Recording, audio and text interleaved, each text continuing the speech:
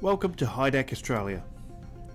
In this video, we'll show you how to assemble a bladder style hydropneumatic accumulator. Correct assembly will help to ensure years of trouble-free operation.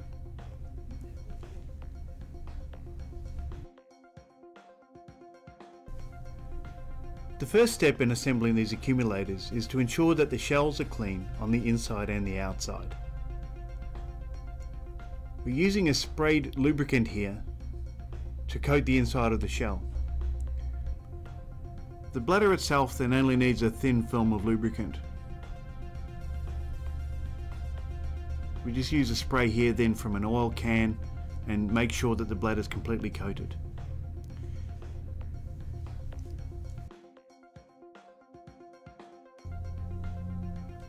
We're using an assembly guide here so that as we pass the bladder through the shell, the gas stem will find its way out the hole at the other side of the accumulator. It's vital when assembling the bladder into the accumulator that it is not twisted. So the process here is that you're folding one side over the other side. Pass the entire bladder into the shell at the other end of the accumulator then we pull the gas stem out through the hole. Here we're lubricating the anti-extrusion ring and placing it inside the shell and preparing the fluid port assembly. Lubricating the top of the poppet valve and the stem. This then gets inserted inside the accumulator shell. The fluid port assembly is then manipulated to pass through and sit inside the anti-extrusion ring and the assembly is brought again out through the hole. The seal set is then prepared and installed. It's absolutely vital that it's not damaged at this point. We're using a round tool for this purpose.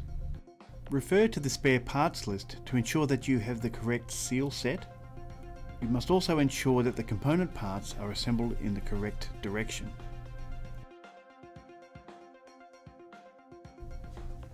The fluid port assembly is pulled up by using a lock nut against a spacer. The lock nut has a chamfer on it, this is facing towards the shell. The nuts normally tighten down using a C-spanner and a hammer. As this is a production environment for us, we use a specially prepared socket.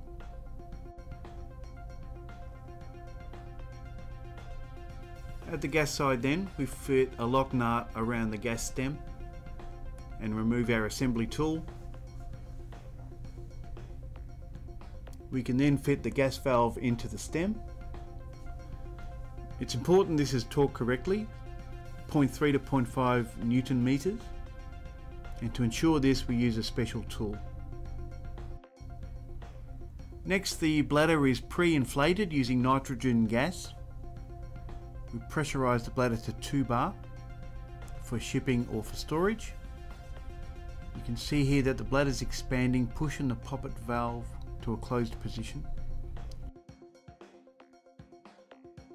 We can remove the lock nut to fit the identification plate.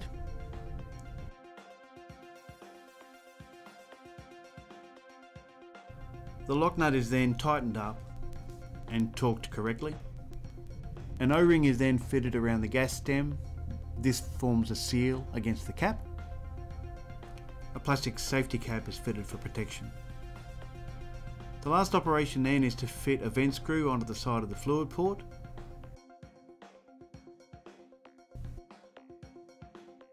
Check the service data for the correct torque rating.